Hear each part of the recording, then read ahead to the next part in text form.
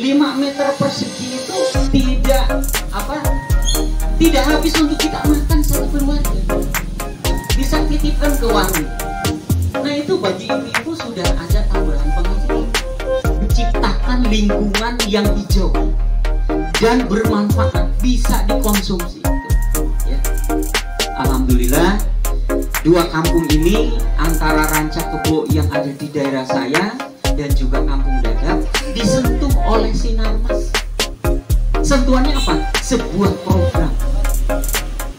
Di situ ada stimulan-stimulan. Ketika masyarakatnya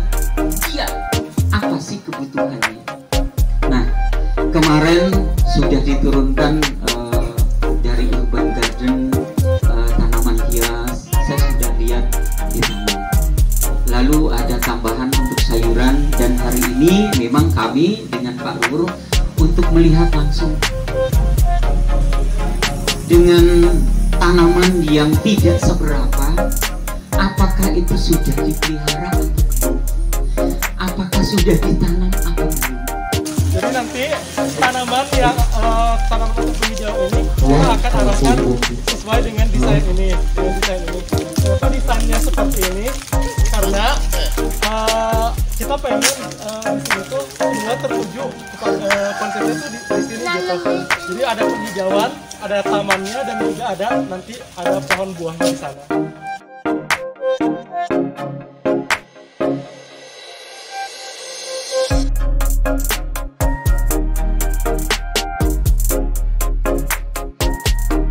Jadi gini uh, pemupukan kalau baru kita tanam Nah,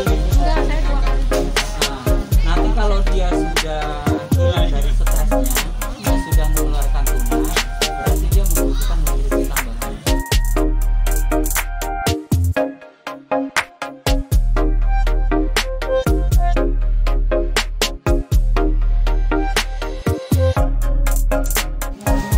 Ini media tanam vertikultur, bibit seledri.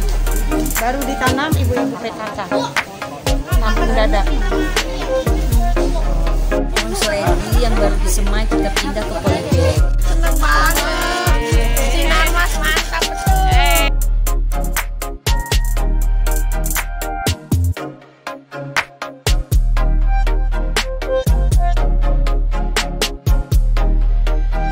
senang bahagia harapannya ke depannya kampung dalam kita ini menjadi kampung yang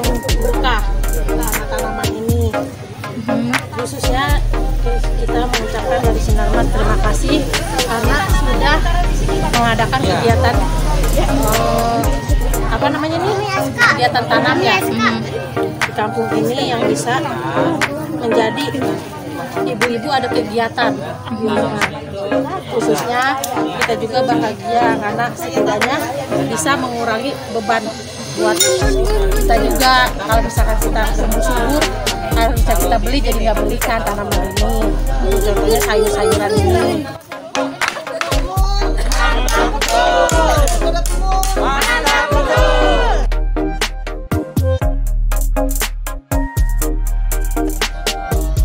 Pola katanya satu liter ya? Ya lebih bagus ya yang satu setengah. Kita potong dua ya. Kita gunakan yang bawahnya boleh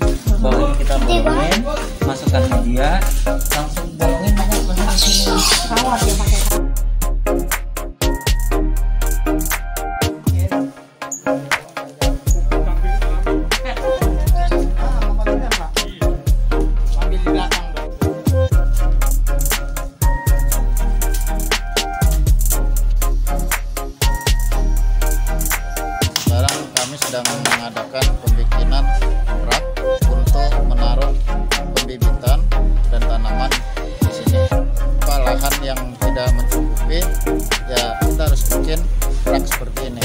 Untuk Sinar Maslen, saya mengucapkan terima kasih telah membimbing masyarakat Kampung Dadap Timur dan memberi support supaya Kampung Dadap ini lebih maju. saya melarang itu apresiasi kegiatan ini menghadap karena terkait masalah ketahanan pangan sama sekali kepada Sinar Maslen yang sudah mensupport dan juga donasi kepada warga kami. itu saya sangat eh, berterima kasih dengan CNR Sinar Nation dengan Bunda juga saya sangat mengapresiasi sekali acara pada hari ini mudah-mudahan akan berjalan berlanjut dengan baik dan semangat semuanya. Semangat untuk kampung dadap ini harapan ke depannya mudah-mudahan bisa merubah kampung ini menjadi lebih baik